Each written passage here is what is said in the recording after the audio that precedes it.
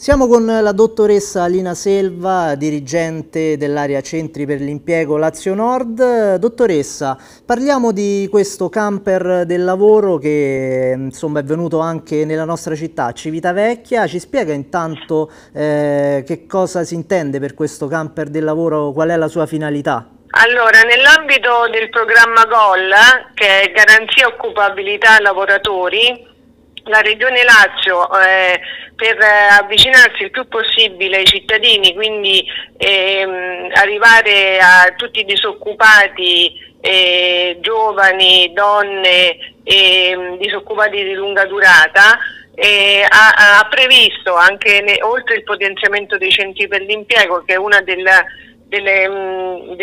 degli obiettivi eh, sì. che si prefigge in questi anni, anche il, eh, arrivare praticamente a aumentare eh, la, mm, la, possibilità degli utenti di potersi eh, rapportare con i centri per l'impiego, quindi proprio arrivando anche in quei posti dove normalmente sì, eh, sì. non è presente il centro per l'impiego. Come abbiamo detto il camper insomma, è stato anche a Civitavecchia, quali sono sì. i dati che, che sono in vostro possesso?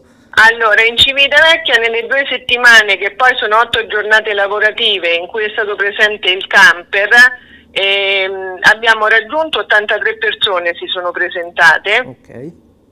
Abbiamo stilato tre patti gol, sì. quindi questi patti che sono finalizzati alla profilazione sia quantitativa che qualitativa, assessment eh, del, del disoccupato eh, per poi farlo inserire in un programma che va dall'accompagnamento al lavoro alla formazione intensiva eh, eh, oppure a una formazione per aumentare veramente le competenze e migliorare le competenze già acquisite. Inoltre abbiamo fatto sei assessment qualitativi okay. e poi abbiamo praticamente la, le caratteristiche degli utenti che si sono affacciati ai camper, sono stati disoccupati okay. e, e, anche una discreta partecipazione di giovani. Quindi un bilancio di questa iniziativa immagino sia positivo? E noi positiva perché abbiamo anche un territorio abbastanza variegato Infatti. che va dal mare alla montagna e quindi poter arrivare anche nei paesini più piccoli